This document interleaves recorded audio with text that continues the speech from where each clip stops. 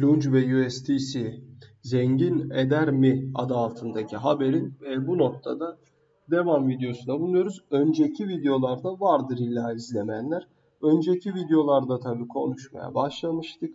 E, burada değerlendireceğiz. Tabi genel ölçüde e, durum değerlendirmesi, durum değerlendirme yaptığımız için e, bu noktada dediğim gibi genel anlamda yani üzerine konuşuyoruz diye ifade etmemiz mümkün olacaktır.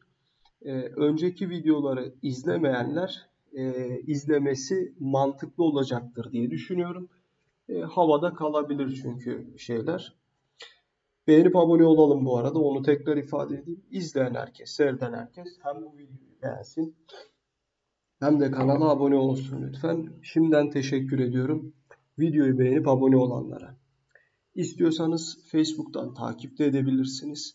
Facebook sayfasının linki videonun açıklamalar bölümünün en alt kısmındadır. Ee, Facebook videolarında hem reklam çıkmıyor hem de anı anla paylaşımlar yapabiliyoruz. Ee, bu minvalde şeyleri var yani avantajlı durumları var.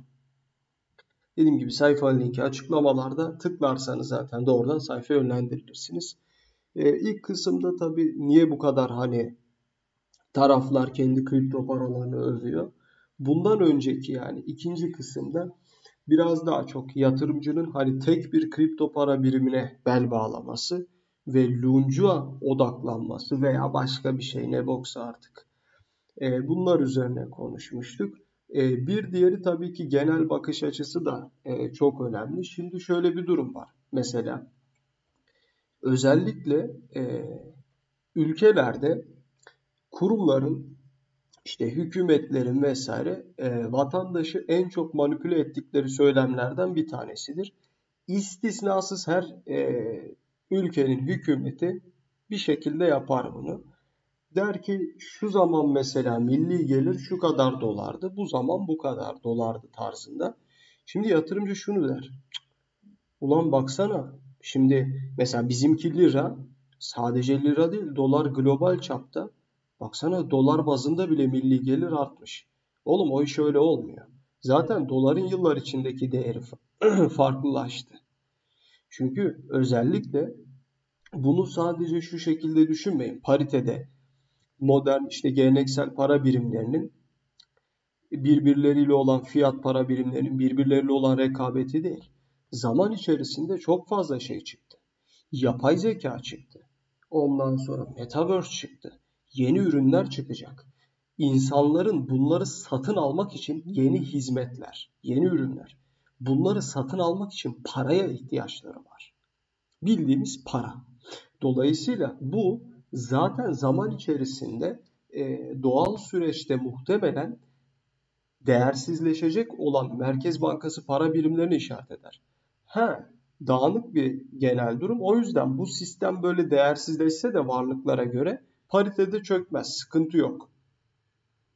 Ama ürün bazındaki ve dağılımdaki zaman etkisinde böyle bir farklılık gösterir.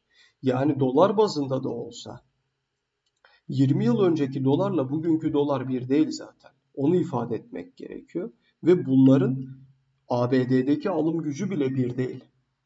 Bunu ifade etmek gerekiyor e, diye söylemiş olalım. Yani böyle farklılıklar var aralarda.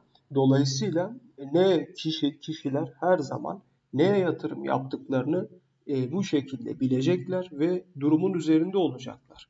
Belli bir kesim de şunu çok fazla yapıyor.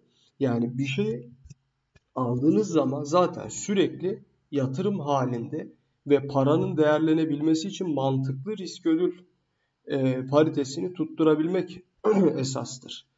Şimdi kişi şunu yapmaya çalışıyor. Yani sizin yapabilecekleriniz bitmez. Sürekli bir para döner dünyada. Siz bir şey yaparsınız, size para ödenir ondan dolayı. Size bir şey yaparlar, siz de onları ödersiniz. Mesela şu şekilde bir kişi kafa yapısında olursa sıkıntı olur. Adam mesela istiyor ki bu arada haberden başladım. Üçüncü video haberin bir kelimesini okumadım ama şu yüzden Lunge üzerinde bulunuyorum. Çünkü çok iyi biliyorum ki Lunge'e yatırım yapanların %90'ından fazlası bu anlattığım e, tabirlere uyduğunu o kadar iyi biliyorum ki o yüzden lunge videosu adı altında anlatıyorum yani. E, bu noktada adam istiyor ki adamın derdi şu. Ben gerçekten para kazanayım, para tutayım bu değil. Adam istiyor ki ulan şimdi bir gireyim ondan sonra şimdi bir gireyim iki günde bu 10 katarsa ben bunu çeksem e, bir hafta işte Bodrum'da tatil yapar gelirim pardon Yunanistan'da e, tatil yapar gelirim. Yani genel olarak şey böyle geçiyor. Bakış açısı böyle. Halbuki adam ulan insan çektiği parayı gider başka şekilde değerlendirmeye çalışır. Yani adam onu ezip gelmek istiyor. Veya saçma sapan bir şey alacak mesela. Tamam mı? Bu tarz bir şey yani. Dolayısıyla bu bakış açısıyla zaten bir şey olmaz. Ya mesela ülke genel olarak insanlar örnek veriyorum. ABD'lilerin bir sözü var. Çok da kullanılır halk arasında. Ee, nasıl çevriliyor? Yani şey gibi ya pastayı ya yersin ya da pastaya sahip olursun denir. İkisi bir arada olmaz. Bu ne demek? yani sen diyorsun ki benim pastam olsun ama onu aynı zamanda yiyeyim. Yani bu pastanın durmasını istiyorsan yemeyeceksin. Ha yersen durmaz. Midene girer yani.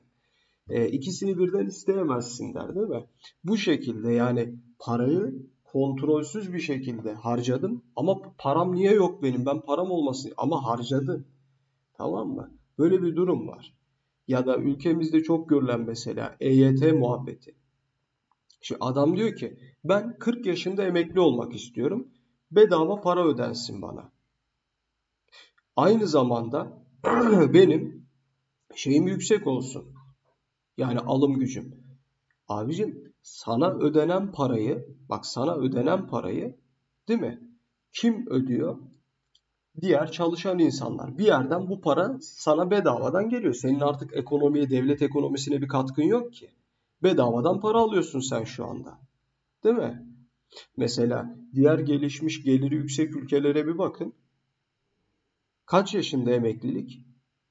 Yani muhtemelen buradan birisi gidip ben 42, 43, 45 yaşında emekli oldum dese adam ona bir şey söyler ben söylemeyeyim şimdi vereceği cevabı. İnanmaz çünkü. Ha, ama onlarda da alım gücü yüksek. Niye? Adam diyor ki gel eşek gibi çalışacaksın burada. Ama alım gücü yüksek doğru. Ya da emeklilik kavramı bile Avrupa'da genelde çok düşük. Ya çok yok denecek bir para verilir.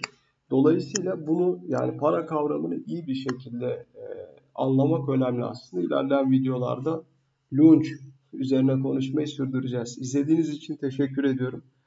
Abone olup videoyu da beğenebilirsiniz. Bol kazançlar diliyorum izleyen herkese. Hoşçakalın.